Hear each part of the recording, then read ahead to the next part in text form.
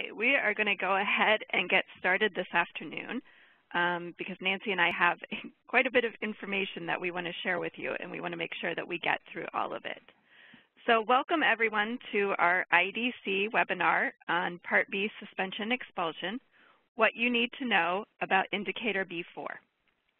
This Back to Basics webinar provides an overview of B4A, which addresses significant discrepancy in the rates of suspension and expulsions for children ages 3 through 21 with IEPs, and B4B, which addresses significant discrepancy in the rates of suspension and expulsions by race ethnicity for children ages 3 to 21 with IEPs.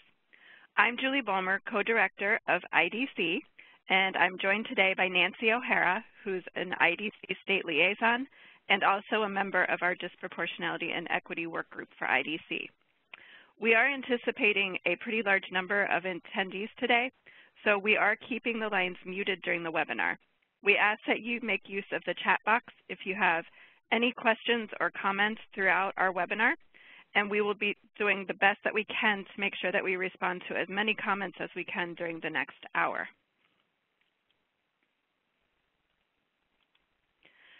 Throughout this webinar, we will use significant discrepancy to describe indicators 4A and 4B.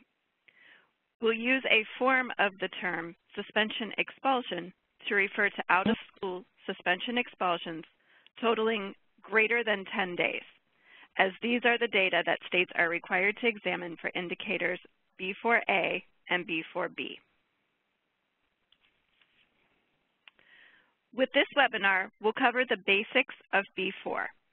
This webinar is intended to provide an overview of this indicator for staff who are new or who want a refresher. It is not meant to take a deeper dive into this indicator. We'll start by discussing the requirements of the indicators, the two comparison options for indicator B4, and also the data sources that you'll need. We'll then review common methodologies that states can use to identify districts with significant discrepancy. We'll then discuss some cautions for indicator B4, particularly around its relationship with the other equity requirements in IDEA. We'll then end the webinar with a summary and some helpful resources. So let's go ahead and get started. And I am going to turn things over to Nancy O'Hara, who is going to get us started with our discussion of the requirements. Great. Good afternoon. Thank you, Julie. Hi, everybody. So we're going to start today with, that's not working, B4A and significant discrepancy in discipline. Um, you can see that the wording of the indicator is there, and it's that states must report the percent of districts that have a significant discrepancy in the rate of suspension and expulsions for children with disabilities. In order to do that, states have to have defined significant discrepancy. Although the indicator requires you to report a certain percent, it gives states some flexibility in how they define significant discrepancy. So significant discrepancy will be defined by your comparison option that you select, the methodology for doing your calculations, as well as threshold, and some of you will also use a minimum n or cell size. And we're going to talk about all of these as we move through the next hour. So just know that that's all part of the definition of significant discrepancy. As most of you probably know, B4A is reported in the state performance plan. It is an indicator. It is a results indicator. Um, the target is set by the state with the advice of your stakeholders. Um, and in the APR, what you will do is compare your state's actual performance to the target that was set. And if there is any slippage, of course, you'll explain that.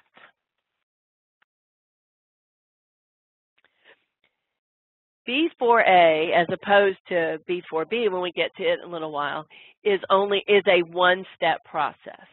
So your basic responsibility is to determine which of your districts or LEAs meet the state's definition of significant discrepancy. So you'll review the data on um, suspensions and expulsions for greater than 10 days for all of the LEAs within your state, and you'll, based on the definition that you've created, and you'll determine which of those meet that definition, and that's the percentage that you'll report.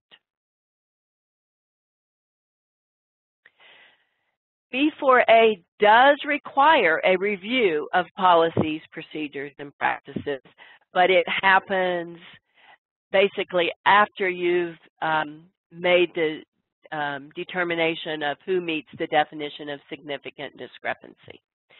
So states are required to ensure that a review of policies, procedures, and practices is conducted with any LEA or district that met that is determined to have significant discrepancy. However, whether or not you find compliance, non-compliance when you conduct that review does not impact those who met it for the indicator report. Um, and certainly if you find an LEA that um, had non-compliance in the policies, procedures, and practices, then you must require them to correct that non-compliance in accordance with OSEP Memo 0902.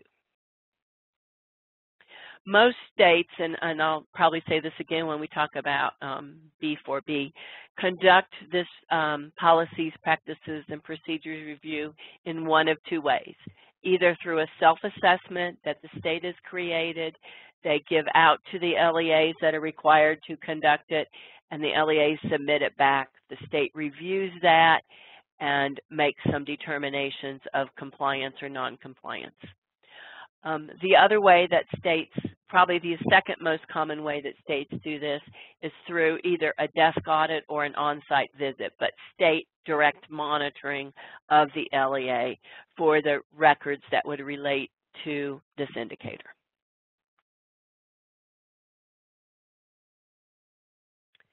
We're going to move on to B4B. And yes, that whole slide, as you probably are familiar, is the language of the indicator. It happens to be a, a lengthy indicator. But we've highlighted some of the words that I, we think are critical for this one. So the first difference in B4B is that it is significant discrepancy by race or ethnicity and again, it's in the rates of suspensions and expulsions of greater than 10 days in a school year. And there are policies, practices, or procedures that have contributed to the significant discrepancy and are not in compliance with IDEA requirements. So it is an A and a B, which is right in the language of the indicator to clearly note that it's a two-step um, action. Again, as with a, a state must have a definition of significant discrepancy that's going to talk about comparison method, uh, calculation method, what kind of threshold or bar are you looking at, as well as if you choose to use any minimum n or cell sizes. All of those things create your definition, and then these districts in the state are compared against that definition, this time by race or ethnicity. Um, it's also very important while we're here, and I don't want to forget to say it, that we, um, as Julie have already alluded to, that what we do for B4B cannot be confused with the requirements related to significant disproportionality and discipline. Um, the requirements are different. States should not use the same calculations and definitions for determining significant discrepancy or here B4B as they use for significant disproportionality. We're going to talk about this a lot in the section that we called B4 cautions. Um, I, I wanted to point it out because this is an area where states have had a lot of confusion in the past. So we think it's important to be really clear on this section. Um, as you know, B4B is reported in the SPP APR. B uh, B4B is a compliance indicator as opposed to A, which was a results indicator. So the target must be zero for B4B. Um, and states must compare your actual performance to the target and explain any slippage, of course, in the APR. B4B is a two-step process. So if you'll remember with A, it's only one step. You just looked at your districts to see who met your definition. Here we start with the similar process. So we look at the data for the state, look at each LEA's data to determine who meets the state definition of significant discrepancy. And then for those that meet that definition, we determine if they have policies, procedures, or practices that contribute to the significant discrepancy and do not comply with the requirements related to IDEA. And it is important to note that um, OSEP has been very specific in the indicator, and it's repeated here on this slide, that it is the requirements of IDEA, but specifically looking at those related to the development and implementation of IEPs, the use of positive behavioral interventions and supports, and procedural safeguards. So it's pretty prescriptive in the, the kinds of areas that you're going to look at. So as we just said, as I just said, states must conduct this policy procedure uh, review of policy procedure and practice for any district that met that definition. Um, you identify a district with significant discrepancy by race and ethnicity only when they met the state definition and they had noncompliance um, after you've done the policies, procedures, and practice review. So there's a very distinct difference between A and B and when the review comes in and how it impacts the determination of significant discrepancy. And of course, if you find significant um, find noncompliance in significant discrepancy, you must require those districts to correct that identified noncompliance. So we're going to test your knowledge and let you just think to yourself about this, but I also want to point out that we're kind of ending the nearing the end of this first section. So if you have any specific questions about what we've just said, feel free to use the chat box and think about this question. Which of the following is true about B4A? It's a results indicator. States are permitted to set their own targets. It uses a one-step process to identify districts or all of the above. And the answer is D, all of the above. So just as a summary, as we said, A is a results indicator. They set you set your own targets and it only is a one-step process. Let's test your knowledge one more time. Which of the following is false about B4B? It is a compliance indicator. States must set the target at 100%. It uses a two-step process to identify districts, or none of the above. And the answer is B. 100% um, was not correct. States must set their target at 0% for this compliance indicator. Um, a was true, it is a compliance indicator, and C was true, it is a two-step process. Okay, we're now going to talk about the comparison options, one of those first decisions that you have to make um, in your when you are developing your definition of significant discrepancy for either A or for B, um, you must have choose a comparison option. So you are required to compare um, the data um, about districts in one of two ways.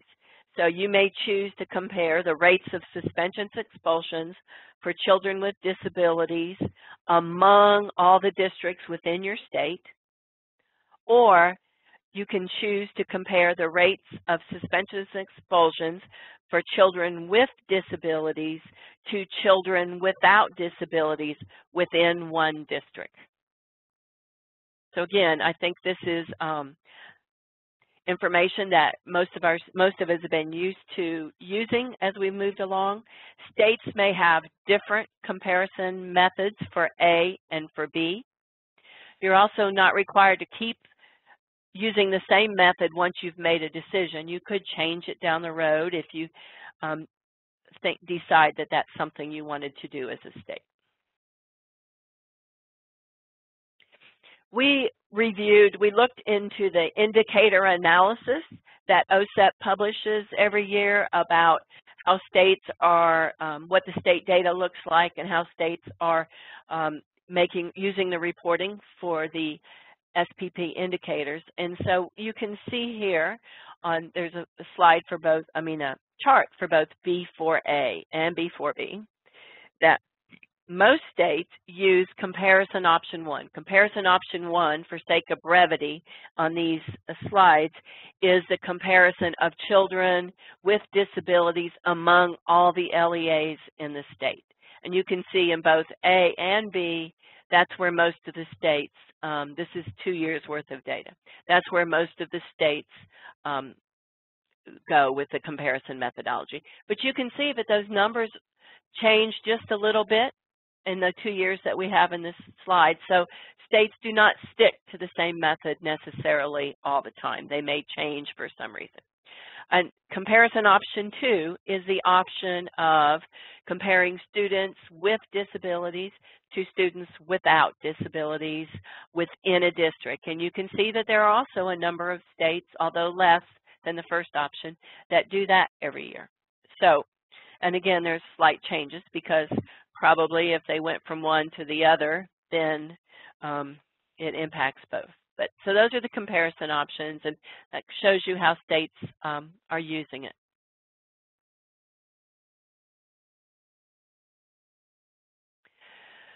So there's some considerations to think about.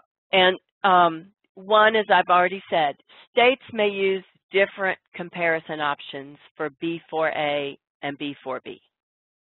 Um, you don't have to use the same one at all.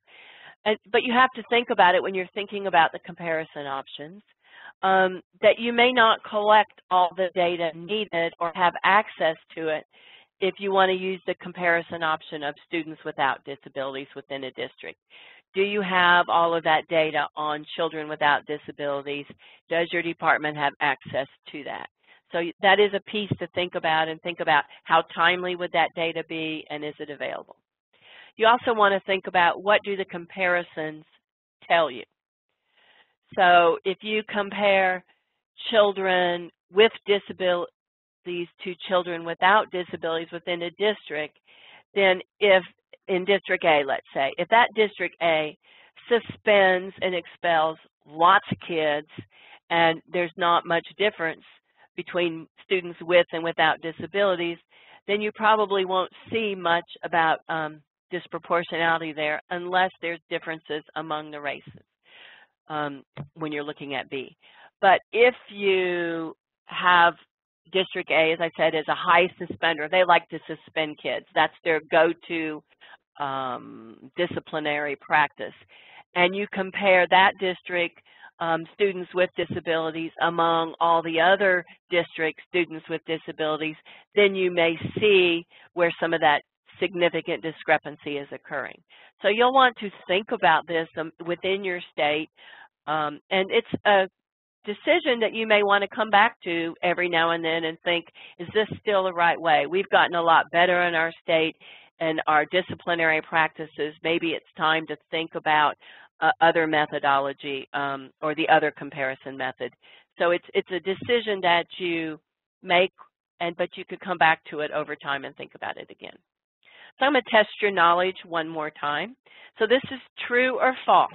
If you select the option for comparing children within a district, then you will need to make sure that you have access to suspension expulsion data for children without disabilities true or false?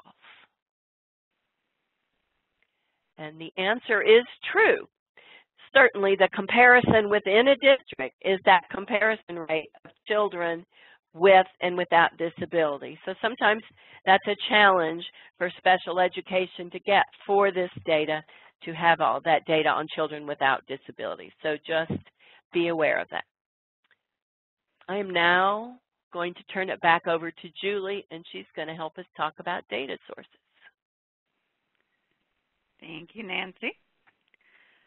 All right, so switching gears a little bit, um, although Nancy's already touched a little bit on the data sources um, that are going to be needed.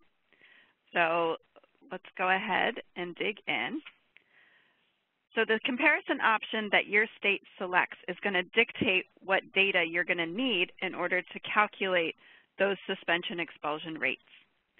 So B, both B4A and B4B require states to use the data collected for reporting under Section 618 of IDEA. It's important to remember that any data that you use to calculate the analyses for indicator B4 is what we're calling on this slide lag data. Um, that means that it's from the school year before the actual reporting period. So for example, if you're getting ready for your next APR that's going to be due in February of 2018, um, that's the FFY 2016 APR, those data are actually going to come from the 2015-16 school year for B4. So there's that one year lag as compared to the rest of the data that you're going to be reporting in your FFY 2016 APR. Um, and just another reminder that, again, these are data for children ages 3 through 21. Um, a lot of the indicators require 6 to 21, but this one is actually 3 to 21 that you're looking at suspension expulsion data for.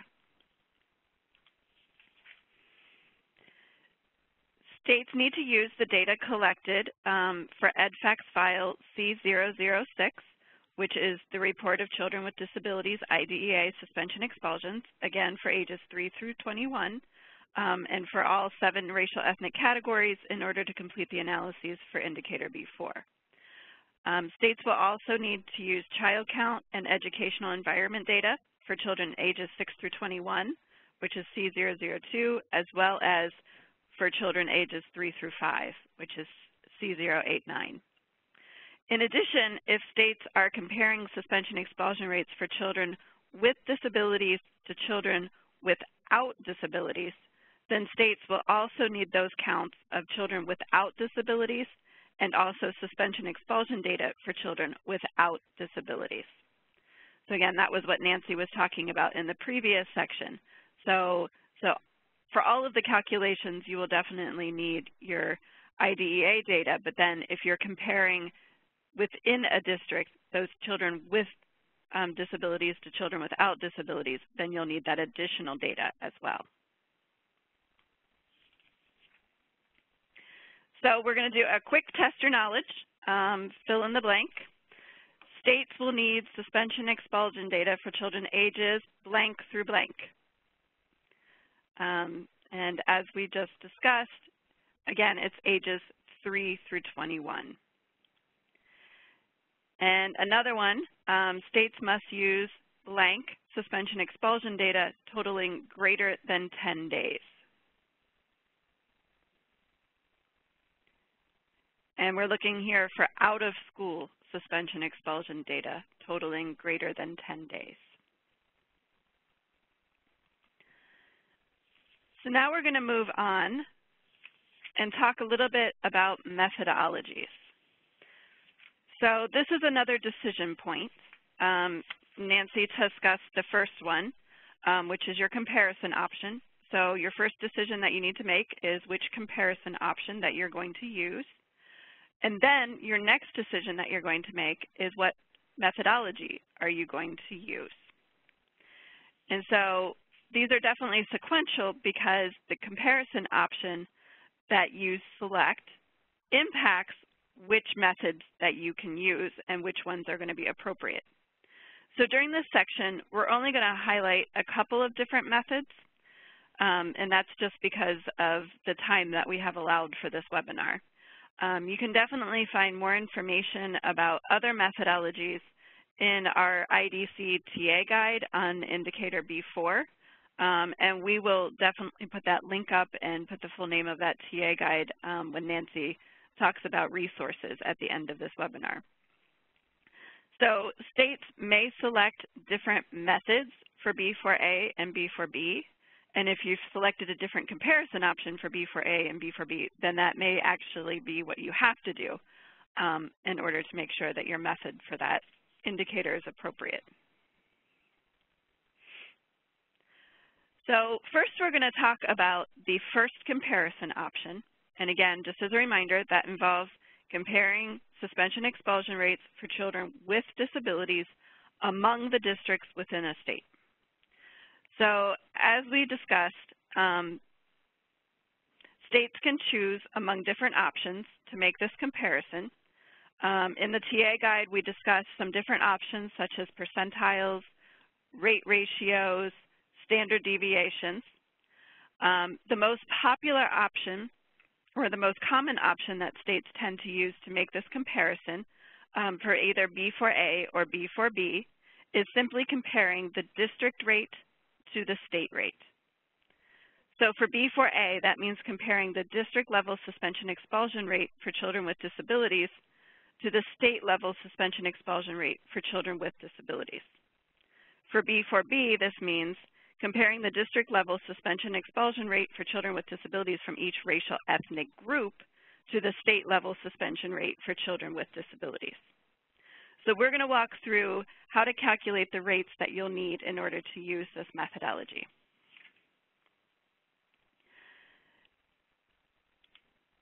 So in this example, um, this is again for B4A.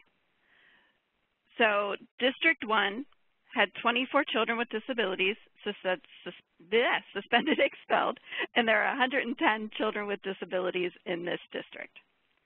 So the district suspension expulsion rate is 21.8% because all we do is divide the children with disabilities suspended expelled by the all children with disabilities in that district. State A, which is the bottom rate example that you have, is children um, is calculating that state rate. So if this, the state here had 759 children with disabilities suspended expelled, and there are 6,479 children with disabilities in the state, we would simply divide those two numbers, and we would get a rate of 11.7%. So in this case, if the state level suspension expulsion rate for children with disabilities for state A is 11.7%, then District 1's suspension expulsion rate for children with disabilities, which is 21.8, is higher than the state level suspension expulsion rate for children with disabilities. So at this point, the state will need to set a threshold for when significant discrepancy is occurring. Um, they're going to have to figure out how much of a discrepancy they're willing to tolerate in their state before it becomes significant. So we'll talk about thresholds in a couple of minutes. Um, but first I want to keep going through the different rates. And I see that there are some, some chat questions coming in, which it looks like Nancy is responding um, to. So, so I'm right. to not break at the moment. I'm going to keep going through this, and then um, hopefully we'll cover those questions as well. So moving on, we're next going to go through an example um, for B4B. Um, and this is very, very similar to the calculation that we just went through. So first what we're going to do is we're going to calculate the suspension expulsion rate for Black or African American children in District 1. And we're going to do that by dividing the three Black or African American children with disabilities who were suspended expelled by the total number of Black or African American children with disabilities. So this suspension expulsion rate for the district comes out to 10%. We're then going to use the same state rate that we just calculated on the previous slide Note that this is the suspension expulsion rate for all children with disabilities in the state. The suspension expulsion rate for each of the racial ethnic groups in each district is compared to this same state rate. So in this example, if the suspension expulsion rate for Black or African American children with disabilities in District 1 is 10%, that is lower than State A's suspension expulsion rate for all children with disabilities, which is 11.7%. So no significant discrepancy exists for this particular racial ethnic group in this district.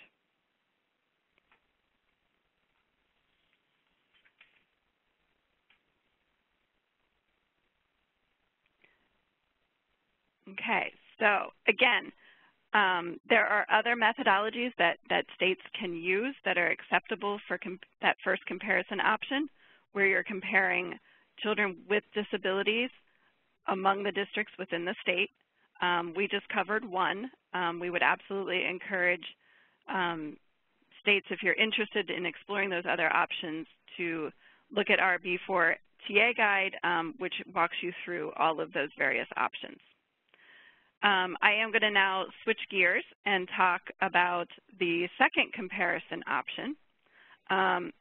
If your state chooses to use this comparison option, which compares the rates of suspension expulsions for children with disabilities to the rates for children without disabilities within each district, then there are two different calculation methodologies. Um, we're going to discuss the rate ratio in our examples. So for this particular example, for B4A, the rate ratio compares a district-level suspension expulsion rate for children with disabilities to the same district suspension expulsion rate for all children without disabilities. And for B4B, the rate ratio compares the district-level suspension expulsion rate for children with disabilities from each racial ethnic group to the same district suspension expulsion rate for all children without disabilities.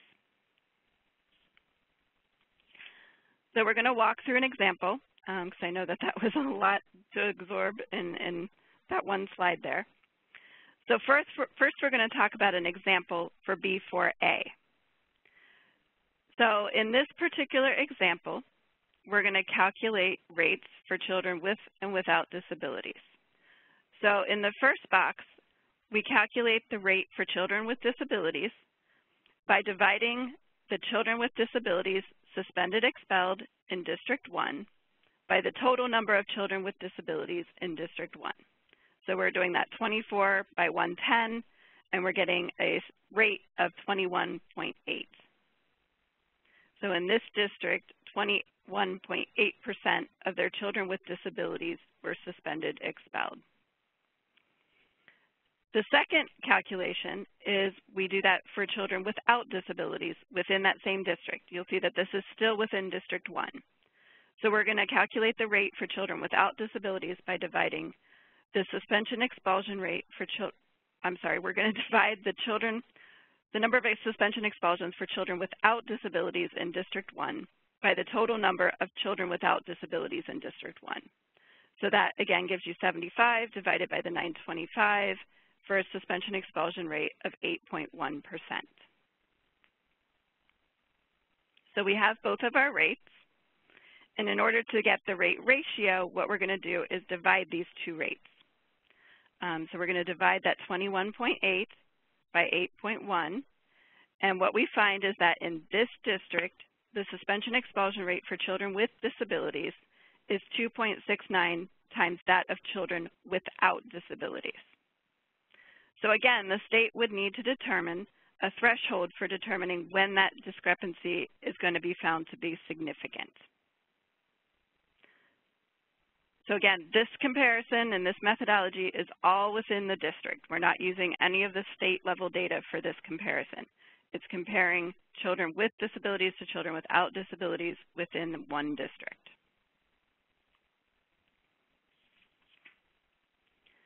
Now we're going to make it just a little bit comp more complicated, um, and we're going to look at B4B, which again is where we're throwing in the race ethnicity piece. Um, so again, this rate ratio is very, very similar to the one that we just calculated. Um, what we're going to do first, however, is calculate the rate for the racial ethnic group in District 1. So what we're going to do is we're going to divide the number of Hispanic Latino children with disabilities who were suspended expelled by the total number of Hispanic Latino children with disabilities in that district. So in this particular district, there were 10 Hispanic Latino children who were suspended expelled, and there were 35 um, Hispanic Latino children with disabilities in that district. So we get a suspension expulsion rate of 28.6 percent. Then we compare that to the rate, we compare that rate to the suspension expulsion rate for all children without disabilities within that same district. So this is the exact same rate that we just calculated in B4A. Um, if we go back a couple of slides, you can see that this is the exact same rate if you look at that bottom one. we have 75 children without disabilities who are suspended expelled. We have 925 total children without disabilities. And we're going to divide those two and get that same rate of 8.1. So in this district, if we do that comparison, we find that we divide those rates and we find that the suspension expulsion rate for children, for Hispanic children with disabilities is 3.5 times the suspension expulsion rate for all children without disabilities in that district. So it's important that you're comparing in each district the suspension expulsion rate for each race ethnicity, for each racial ethnic group, to the suspension expulsion rate for all children without disabilities.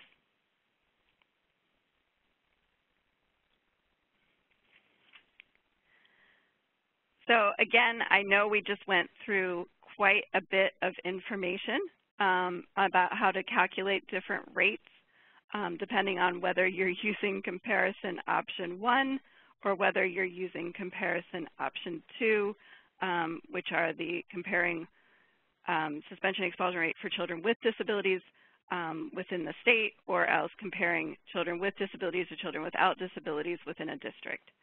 Um, I know that we went through a lot of rates. Um, and so we would definitely encourage you um, to look at our B4TA guide, which provides a lot more information about different methodologies that you might use, um, and, and, again provides those step-by-step -step directions for how to calculate each one of those methods. Um, Julie, before we, be, yeah. Julie, before you go on, there is one question that I could not completely answer, and it asks about OSEP's measurement table. It's about data to be used. Does not okay. specify out-of-school suspension. Rather, it says suspensions and expulsions for greater than 10 days. Does it really have to be out of school, or can it include in-school suspensions and expulsions of greater than 10 days as well? Great question, Mickey. Um, you're correct that the measurement table from OSEP does not specify. Um, when IDC created the B4TA guide that I keep referencing, um, we actually worked hand in hand with um, OSEP, um, OGC, and OCR. Um, and that TA guide was vetted by all of those various offices within the Department of Ed. And our understanding from working with each of those offices that it, it is um, the out-of-school suspension expulsions totaling greater than 10 days. Um, it is not including the in-school suspension expulsion data.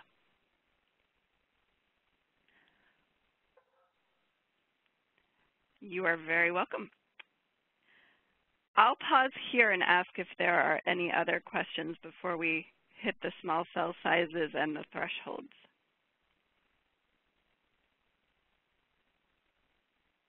if there are, again, remember you're on mute, so we do ask that you um, put anything in the chat box.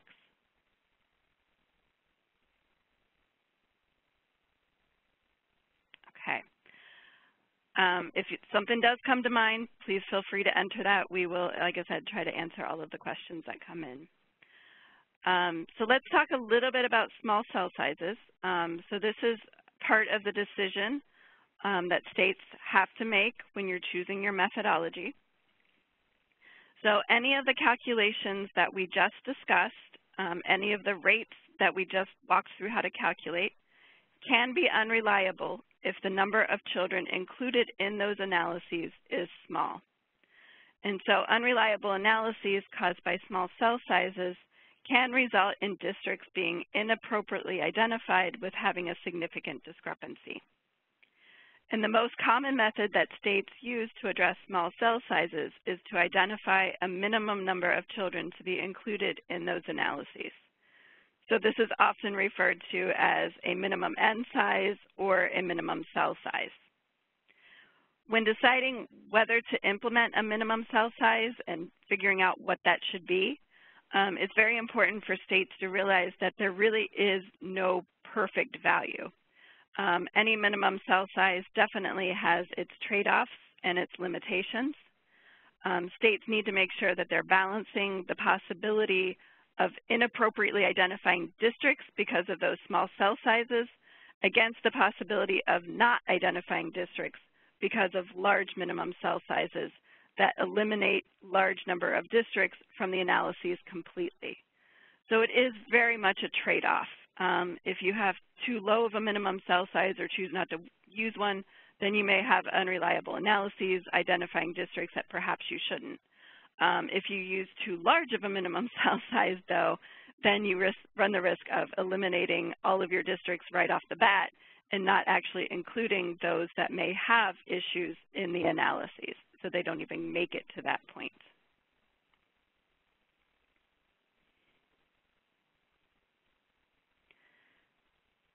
Um, all right, uh, going to the next slide, let's talk a little bit about thresholds because we've alluded to them quite a bit at this point in time.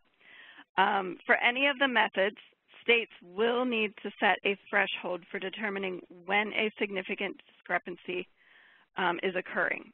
So all of the methodologies that we walked through and that we talked about basically tell you whether or not there's a discrepancy between the different rates.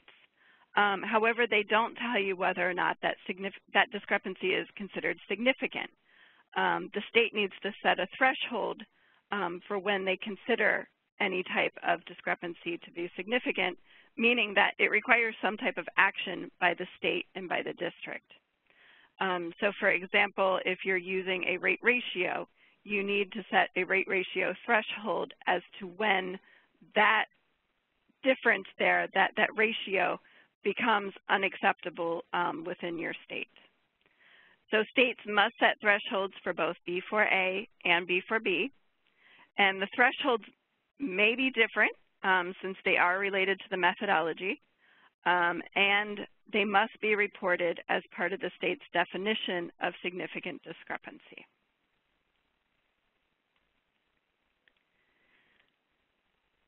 So let's do a, a test your knowledge um, at the end, and then um, we'll revisit the chat box um, as well. Um, so a state decides that they want to calculate a rate ratio that within a district compares the suspension expulsion rate for black or African American children with disabilities to the suspension expulsion rate for black or African American children without disabilities in that same district. Is this acceptable?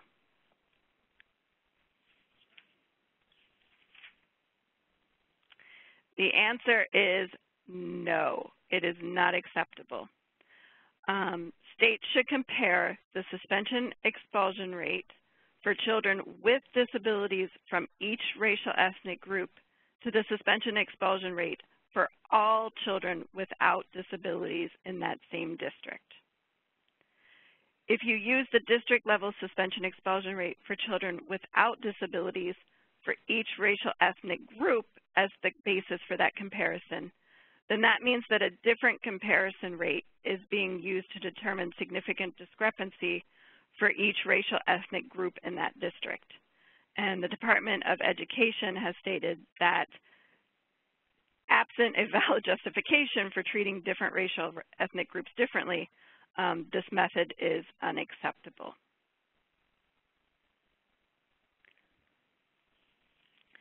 Any additional questions that have come in, Nancy, that, that we need to go back to? Um, I believe I was able to answer the last one that came in. Okay, good, good. Okay, so let's um, talk a little bit about the B4 cautions. Um, so there are some important points to remember about calculating significant discrepancy for indicator B4B in particular. So first, states cannot use the methods that they use for B9, B10, and significant disproportionality for the significant discrepancy calculation for B4B. The B9, B10 calculations and significant dis disproportionality calculations do not use either of the comparison options that are required by indicator B4B. So states should not use or calculate a risk ratio within each district. I'm sorry, states should not calculate a risk ratio within each district that compares the suspension expulsion rate for children with disabilities from one racial ethnic group to the risk for children with disabilities from all other racial ethnic groups. So again, that is not allowed. And let's walk through um, an example as to, to why, why those methods aren't appropriate. So at the bottom of this slide, you will see um, a formula. And this is a formula that you might use if you were calculating a risk ratio, um, let's say for significant disproportionality, looking at a discipline category. Um, here, within the district, we compare the percentage of children with disabilities from a racial ethnic group who are suspended expelled to the percentage of all other children with disabilities who are suspended expelled in that same district. So this risk ratio does not compare among districts within the state.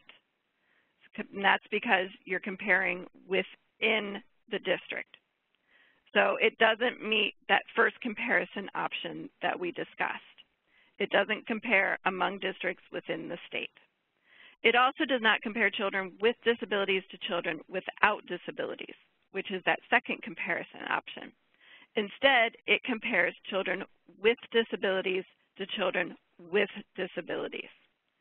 And therefore, um, for those reasons, because it doesn't use either of the different comparison options, um, this method is inappropriate and unacceptable for B4B. So again, please do not use that method. Um, it's also um, important to note that states cannot use the significant discrepancy analyses that they use for B4B to meet the discipline analysis requirements of significant disproportionality.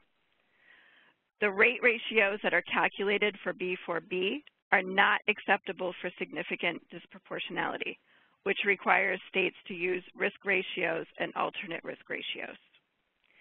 In addition, for significant disproportionality, states must analyze five different discipline categories to make sure that they're getting at incidence, type, and duration. For B4B, states are only analyzing data for out-of-school suspension expulsions totaling greater than 10 days. So just keep in mind that significant discrepancy in discipline and significant disproportionality are very different requirements in IDEA and require very different calculations and different data sources.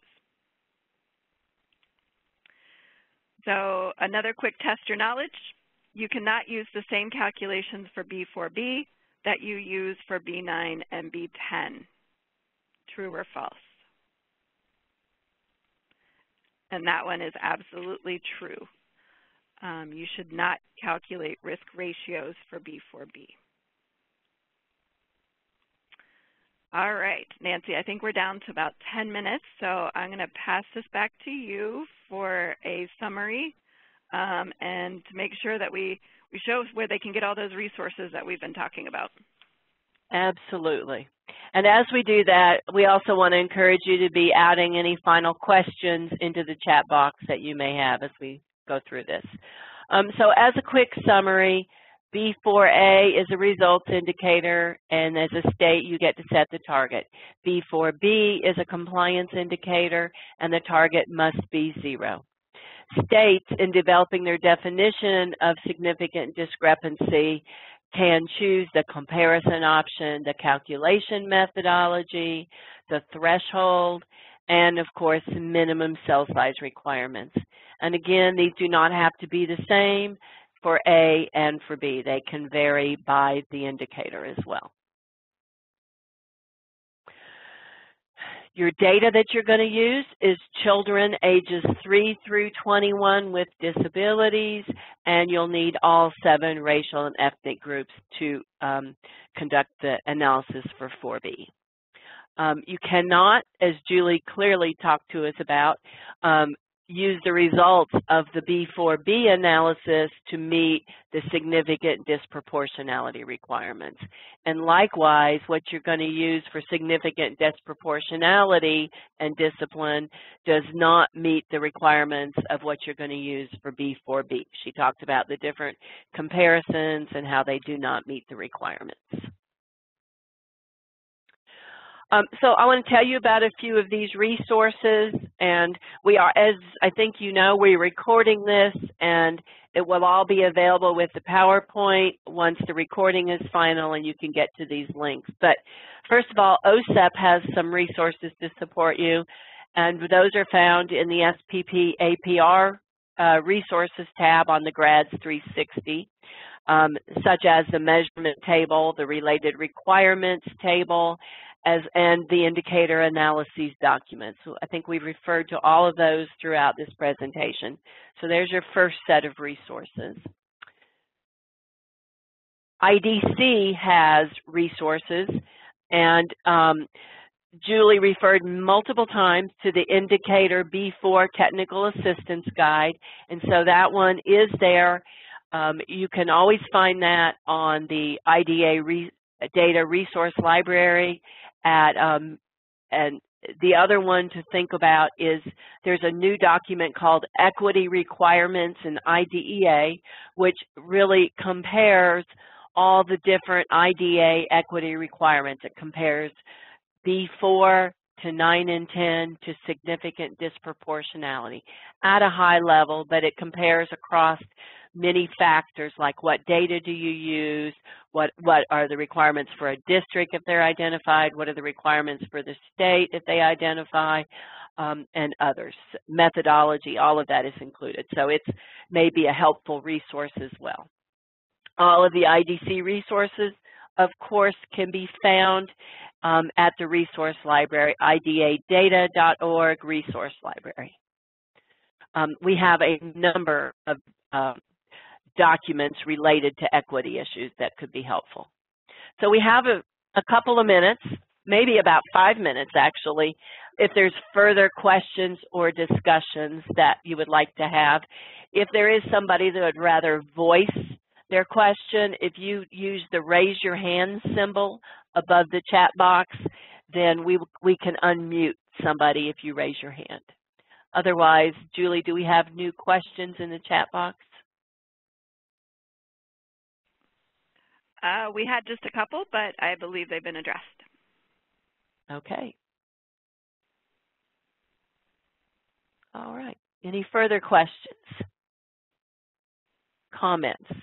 Um, I won't ask you to acknowledge this, but um, those of you that may have been working on this for a while, I'm, I'm uh, wondering if you um, some of the information made you think, oh, I need to go back and relook at how we do this. Um, there's always so many nuances to all of these equity requirements that it's um, it's always important, I think, to go back and think about your process and your procedures and make sure you're doing them right. Not seeing anything come in, I'm going to go to the to the almost last slide and um, tell you that certainly um, there's help for you from IDC. You certainly can contact your state liaison. If you don't know who your state liaison is, and there's, you can find that out by going looking at the technical assistance tab on the IDEA data webpage. Um, and certainly Julie and I are happy to answer your questions as well, and our emails are there. Um, you will be getting an evaluation after this webinar because you so kindly registered and we now have your email so you will be receiving an evaluation and we'd really appreciate it if you would take a couple of minutes and do that evaluation. It will help us improve. This was the first of multiple webinars coming up on back to basics looking at many of the SPP APR indicators. And with that, Julie, do you have anything else you want to add? Um, just a reminder that if you did find this particular webinar helpful to get back to the basics on B4, um, please do look next month um, and register for the next webinar, which is going to be covering another equity requirement of IDEA and focusing on indicators B9 and B10 um, for the SPP APR. So um, definitely encourage everyone to, to listen to that one as well.